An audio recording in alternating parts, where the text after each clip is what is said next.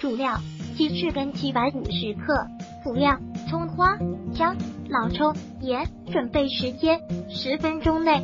制作时间：十分钟内。鸡腿洗净，葱姜切断。锅内放油，爆香葱姜，倒入鸡腿，翻炒到变色，加入老抽及适量水，炖二十分钟。装盘开吃吧。烹饪技巧：鸡腿比较容易辣，稍微一炖就熟。如果喜欢本视频，请分享并订阅本频道。